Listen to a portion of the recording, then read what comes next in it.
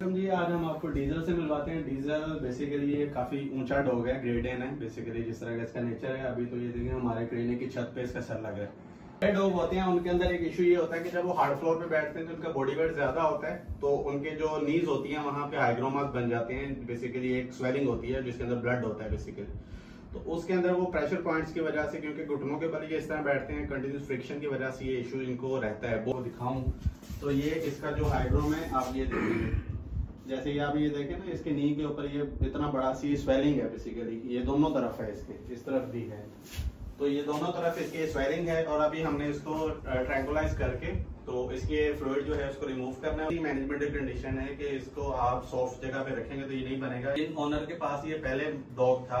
उन लोगों ने इसकी काफ़ी जो है बुरी हालत की हुई थी बट अभी रिसेंटली अभी ओनर शिफ्ट हुए तो उन्होंने काफ़ी इसका ख्याल रखा है। तो अभी तो पहले जब फ़र्स्ट डे आया था, तब तो इसकी हड्डियाँ नज़र आ रही थी, बहुत बुरी हालत में था। माशाल्लाह तो थर्ड विज़िट है इसका यहाँ पे तो कंडीशन इसकी बहुत बेहतर हो चुकी है। तो अभी आप ये देखेंगे कि ये इसके अंदर है क्या चीज़? जो ये स्वेलिंग होती है ना, ये सारी इसके अंदर ये पस पड़ गई हुई है। ठीक है?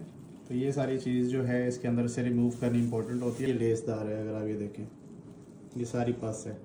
तो अगर ये बीच में छोड़ देंगे तो यहाँ से स्किन गल जाती है और ऊपर से गिर भी जाती है। तो ये रिमूव करना और इसका ट्रीटमेंट करना बहुत ज़रूरी होता है।